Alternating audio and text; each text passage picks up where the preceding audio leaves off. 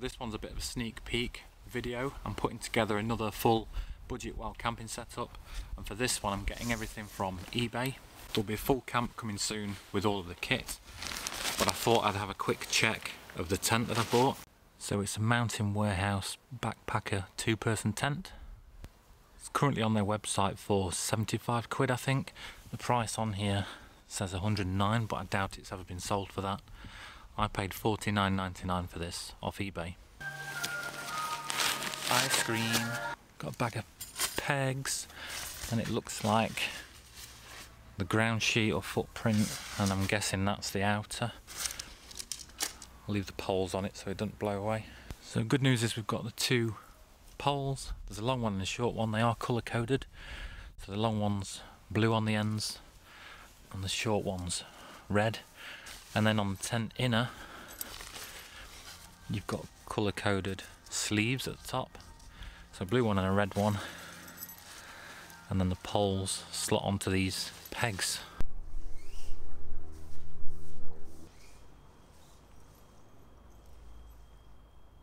So that's the poles in. Let's have a look at these pegs. So the standard kind of wire one. They do feel a bit thicker and stronger than other ones that I've seen. And I've got 22 of these, so I don't know how complicated this is going to be. Now we throw the outer over the top. So we've got these tie out points that connect the outer to the poles. I can't get the pegs in all the way because all underneath the whole lawn is just stones and rubble. And then I'm guessing, yeah, there'll be tie outs here as well to tie on there. Yeah, there it is. There's loads of pegging points. There's three on each side. There's a door on each side. And each door's got three. So I think these two hold that and give it some shape. And then this just holds the door. But we'll have a look inside in a minute. There's a vent here as well. But there's nothing there to hold it open. There is a bit of foam in there, but sometimes you get a little stick thing, don't you?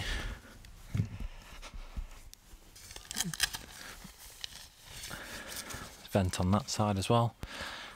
You've got one, two, four guy lines.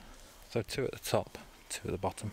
I do like that colour. I think it's a similar design to the OEX Phoxx 2, but I've never seen one of those or had one of those to compare it to. So inside we've got like this foil coating underneath, which I guess is for a bit of warmth.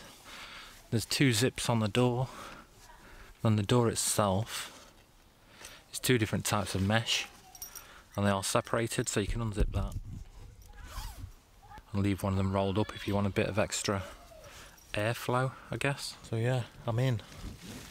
Now bear in mind, this is not pitched anywhere near as tight as it could be or should be.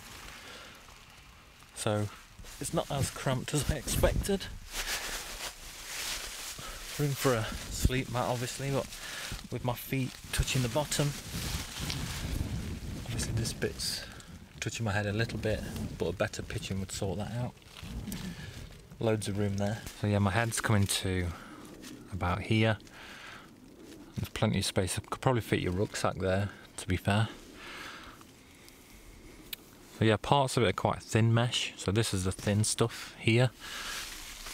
And then it goes to this thicker material at the top. And you get both types of material on the doors. There's thinner mesh again at the bottom for a bit of ventilation. And then storage wise, there's one, two pockets there, and the same on the other side as well. I never really bother with those. Got a little loop at the top for a head torch or to hang your glasses on if you're a specky four eyes like me. And yeah, it feels alright. It doesn't really feel claustrophobic or anything like I expected it to. I think because it's nice and light and bright on the inside. There's loads of airflow coming through as well. It, it feels quite good. So I'll be taking this out for a camp soon, along with the rest of the eBay setup. But if you'd rather buy new kit for yourself, check out this video where I did a full setup for less than £150.